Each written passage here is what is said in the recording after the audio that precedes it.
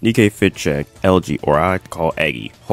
Holy shit, what the hell do I start off with this character design? First off, the haircut literally looks like a fucking egg. That's why I like to call her Eggy. She has some incredibly short shorts that are just being fucking destroyed by those massive ass thighs. Holy shit.